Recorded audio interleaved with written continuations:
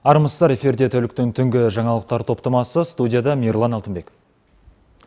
Бүгін нөмірі екінші қалалық сотта облыстық еңбек инспекциясы басқармасының бұрынғы басшысы Марат Ғабдулин мен оның қарамағында қызмет еткен бас маман Мықтыбай Жамиевтерге қатысты алғашқы сот отырысы өтті.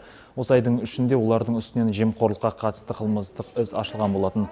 Облыстық еңбек инспекциясы басқармасының бұрынғы басшысы Сенпесе Ақтөбе мұнай газ акционерлік қоғамы жаңа жол газ мұнай өңдеу зауыты өкілінен делдал арқылы 3000 ақш доллары көлемінде пара алды деп айыпталуда. Естеріңізге сала кетейік, Марат Ғабидулин осы қызметіне дәл бір жыл бұрын тағайындалған болатын. Бүгін Қазақстан Республикасы парламенті мәжілісінің депутаттары Құралай Қаракен мен Глеб Шегельский жұмыс сапарымен Храмтау қаласына барды. Храмтау республика бойынша моноқала жобасына енген қалалардың бірі. Мұнда қазір тұрғын үйлерді қысқа мерзім ішінде термо жаңғырту жұмысы жүргізіп жатыр. Халық қалаулылары тұрғындармен тілдесті. Жүйелі жұмыс істеп тұрған Ақтөбе астық өнімдері комбинаты серіктестігіне. Жұлдыз Мейірханова тарқатады лет, уже больше 15 лет решается Больше 15 лет этот вопрос решается от одного к другому. Хромтау қаласына жеткен депутаттар алдымен термо жаңғырту бағдарламасы бойынша жөнделіп жатқан тұрғын үйлерді аралап көрді. Биыл моноқалада 110 миллион теңгеге жеті көпқабатты тұрғын үй қалыпқа келтірілуде. Жұмысшылар жүктелген міндеттің жартысынан жуығын еңсерген. Үйлердің шатырлары ауыстырылып аулалары абаттандырылған. Тұрғындардың келісімімен подъездер сырланған. Қалған жолдардың бәрі қазір жаңартылып істеліп жатыр. Сосын мына дворларға деген дворовой площадкілер істеліп жатыр. Двордың ішіндегі нелер жаңа жүретін машина жүретін жолдар асфальтталып жатыр. Қазір осы моногород деп бағдарлама бойынша онымен де ақша бөліп жатыр ғой. Оның бәрі жақсы тиімді деп ойлаймын біздерге. Осы міне соңғы қазір айтсам соңғы төрт бес жылдықта біраз жақсы жағына өзгерді. Енді алдағы бес жылдықта енді біз біздің мына хромтау қаласы танымайтындай болып өзгереді деп ойлаймын республика бойынша жоғары даму деңгейіне қосылған яғни 27 моноқала қатарына енген хромтау қаласында 2020 жылға дейін шамамен 60 көпқабатты тұрғын үй термо жаңғыртылады. Бұдан бөлек 18 аулада балалар ойнайтын алаңдар пайда болады. Келер жылға дейін хромтау қаласы аумағынан өтетін самара шымкент тасжолы жарықтандырылады. Сондай сондай қаланың ішкі жолдары да күрделі жөндеуден өтпекші. Биылдыққа 18 көше жөнделсе келер жылға 26 көшені асфальттау жоспарланған. Қалада негізгі бізде негізгі өндіріс үлкен өндіріс дөң байыту комбинаты. Сол дөң байыту комбинатының сол сегіз мыңнан астам негізгі сол дөң байыту комбинатында жұмыс істейді. Дөң сондықтан да толығымен қазір сол жиырма төрт мың халықтың толығымен жұмыспен қамтамасыз етілді деп айтуға болады. Негізгі жүзден де жүз он екі мың бізде жүз он екі кәсіпкерлік үлкен өндірістер бар өндіріс мекемелері бар жаңағы орта жаңа шағын бизнес дейміз. Соларда көптеген жұмыс бар. Тағы да сосын және өзіміздің мына мемлекеттік мекемелер бар. Басқа да жұмыста жүріп жатқан үлкен мекемелерде жұмыс жасап жатыр. 25 мың халық мекен еткен қаланың тыныс тіршілігімен танысқан депутаттар шағын коммуналдық базарларға бас сұғып бағаларымен танысты. Хромтау қаласының орталығындағы шағын базарға жеміс жидек пен көкөніс оңтүстік өңірлерден әкелінеді екен. Ал қызанақ пен қияр жергілікті өнім екендігін сатушылар халық қалауларына қуана жеткізді. Макарон өнімдерін дайындайтын ақтөбе астық өнімдері комбинатында осыдан екі жыл бұрын ашылған. Комбинатта макаронның 12 түрі шығарылады. Тәулігіне 48 тонна жылына 11 жарым мың тонна өнім өндіріледі. Өнімді ақтөбе маңғыстау батыс қазақстан атырау оңтүстік қазақстан облыстарының тұтынушыларымен ғана емес сонымен бірге өзбекстан тәжікстан түркіменстан елдері де тұтынады. Цех итальяндық технологиямен жабдықталған. Былтыр күзде наубайхана іске қосылған. Кстати качественно считается По программе моно, моногородов из республиканского бюджета. Моноқаланың дамуына үш жылда біраз қаржы бөлінді. Мысалы 2012 жылы 96 миллион теңге жаратылса, былтыр 198 миллион, ал осы жылы басталғалы 1 миллиард теңгеден артық қаражат бөлінді. Храмтау қаласы көркейіп келеді. Мәселен, көктемде келіп кеткенде мына Шиловский көшесімен жүріп өту мүмкін болмап еді. Үш шақырымға созылған көше түгелде асфальтталып, жарық шамдары орнатылыпты. Алдағы 6 жылда моноқаланың өзге де проблемалары шешімін табуы тиіс. Қазақстан республикасы парламенті мәжілісінің депутаты глеб щегельскийдің айтуынша облыс бойынша жалғыз моноқала хромтауда қазір жүзге жуық шағын кәсіпорын жұмыс істеп тұр. Балабақша мен мектептер саны артуда. Кеншілер қаласында жұмыссыздықты жою басты мақсат. Жұлдыз мирханова жасұлан жұбай тәулік хромтау ауданынан. Ақтөбеліктер екі айдың ішінде ішкі істер органдарына өз еріктерімен 310 бірлік атыс қаруына келіп тапсырған. Оның 36-сы ер оқты қару болса, 272-сі тегіс оқпанды мылтық дейді облыстық ішкі істер департаменті баспасөз қызметінің жетекшісі Ардагер Уайдин. Бұдан бөлек тұрғындардан 8000 бірлік оқ дәрі, жарты келі жарқырсат және 4 динамит жинап алынған. Ескерер жайт әр тапсырылған қару үшін оның есіне ақша төленеді. Ерікті түрде қару тапсырған ә, тұрған тұрғындарға ә, сыйақы беру мақсатында республикалық бюджеттен 14 миллион теңгеден астам қаржы бөлінді. Ә, сондай ақ осы тұрғындардың естеріне сала кететін ең басты мәселелердің бірі бұл ә, өз еркімен қаруды оқ дәрілерді сондай ақ жарылғыш заттарды тапсырған азаматтар ешқандай қылмыстық немесе әкімшілік жауапкершілікке тартылмайды. Қаланың базарларында қауын қарбыздар сатылымға шықты. Орталық базардың өзінде бір күннің ішінде жарты тоннаға жуық өнім өтеді. Оңтүстік өңірлерден жеткізіліп жатқан ала қарбыздардан ауыз тию қаншалықты қауіпсіз. Сөрлерді тілшіміз Гүлзира Игелманова аралап қайтты. Орталық базарда 17 нүктеде қауын қарбыз сатылып жатыр. Қарбыздың келесі 70 теңгеден басталады.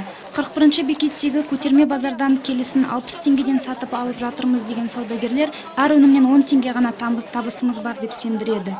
Қауын қарбыз саудасының қызатын уақыты әлі алда деп сатушылар алақандарын қасып отыр. Ол уақытта күніне бір тоннаға дейін өнім өтетін болады. Пока бастануы сезон бастауында чемпионат келеді сезонның орталарына келген кезде август айларында түркістан қызылорда содан келеді. Сосын сентябрь айында местный қарбыз өзіміздің ақтөбенің местный қарбыздары шығады.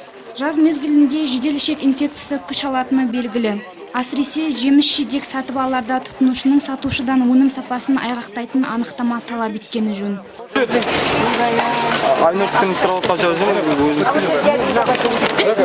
Мұндай зертханалық анықтама қарбыз қауын сатып жатқан әр саудагердің қолында бар. Орталық базарға әкелінген жидек міндетті түрде зертханалық тексеруден өтеді. Зертхана қызметкерлерінің сөзінше қарбыздың құрамындағы нитрат мөлшері 1 килограммға 60 миллиграммнан ал қауында 1 килограммға 90 миллиграммнан аспауы тиіс. Осы үшінші рет алып тұрмыз. Енді дұрысталған шығар әуелі бірінші алғандарымыз онша болып шыққан жоқ сосын біздің енді елдің ақтөбенің қарбыздары пока қымбаттау қауыны да. Телевизорден қарап отырсақ астанада килограмм елу теңге дейді. Біз енді сексен теңге түсетін шығар деп отырмыз енді. Ештеңе айта алмаймын. Местный қарбыз жоқ қой только привозной бар. Ештеңе айта алмаймын. Мен өзім алмаймын сондықтан ештеңе айта алмаймын. Жеймін ғой ну попозже. Шымкент пен түркістаннан жеткізілетін қауын қарбыздардың өз алдына сапа сертификаты болады. Соған қарамастан қайтадан тексеру жүргізіледі. Гүлзира игильманова сергей калашников тәулік Бүгін Қазақстан Республикасы салық қызметінің құрылған күні осыған орай қала әкімі Ерхан Омаров салық басқармасы қызметкерлерін қабылдап, еңбекте үздіктерін марапаттады. Қаланың мемлекеттік қазынасын толықтыруға елеулі үлес қосатын салық қызметкерлері екендігі айдан анық. Бүгін осы азаматтардың кәсіби мерекесі. Елде салық қызметінің құрылғанына биыл 23 жыл. Осыған орай қала әкімі Ерхан Омаров салық басқармасы қызметкерлерін қабылдап, еңбекте үздік танылғандарын марапаттады. Ваш профессионализм на сегодняшний день уже доказал. Сіздердің кәсібилігіңіз алға қойылған мақсаттарды тез орындауға оң септігін тигізді.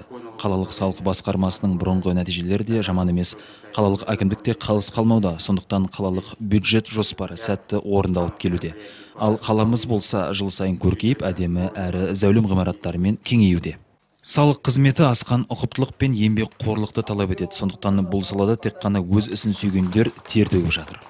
Біздің елімізде жалғыз біздер ғана емес, барлық салық органдары осы өздерінің кәсіби берекесін жақсы жетістіктермен жылдағыдан өзгеше бір сондай жемісті еңбектермен жеткісі келетіні ол міндетті түрде. Бүгінгі салық органының мамандарын кәсіби мейрамымен шын жүректен құттықтаймын. Осы сәтті пайдалана отырып, осы әріптестерімізге жұмыста жемісті отбасыларыңызда аманшылық болғанын осы шын жүректен тілектеспін. Жыл сайын заң өзгереді. Ол да қиын. Оның бәрін де түсіндіріп керек бәрі. Налогоплательщиктерге. Сондықтан меніңше ойлаймын енді шын жүректен осы жұмысты жаратса адам баласы бәріне де шыдайды и бүкіл ниетімен өзінің жұмысын енді алға жүргізеді. Мирлан Алтынбек, Жаслан Жұбай, Тәулік.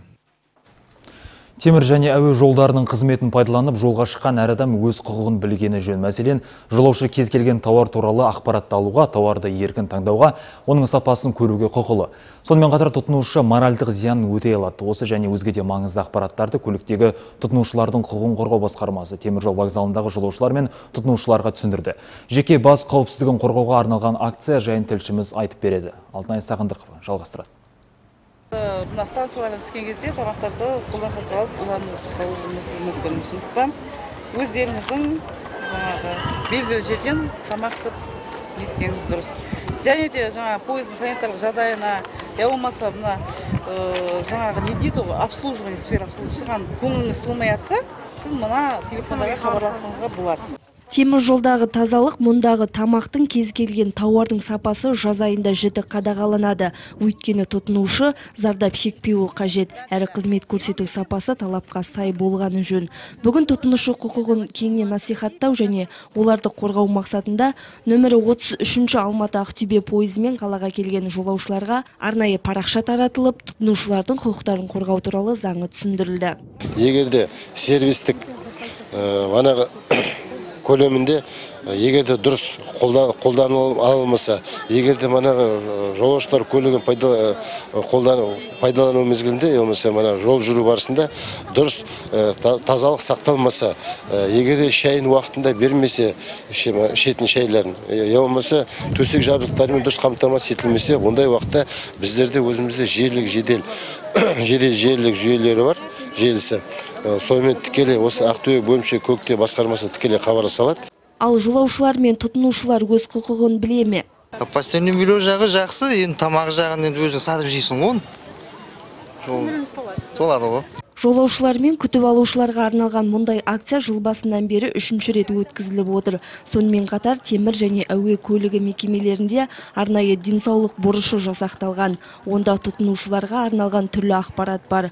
Мұндай танымдық парақшалар пойыз ішінде де ілулі тұр. Бір өкініштісі тұтынушылардың құқығын қорғайтын басқарма мораторийге байланысты пойыз ішін тексере алмайды. Сондықтан тек шағым түскенде қызмет сапасына сын айтылғанда ғана көмек көрсетуге әзір алтынай сағындықова қанат таспағанбетов тәулік Тәуліктің түнгі жаңалықтар топтамасы осындай болды. Өзге де электрон нұсқадағы ақпаратты рекатв нүкте кз сайтынан біле аласыздар. Ал мен сіздермен қоштасамын. Сау болыңыздар.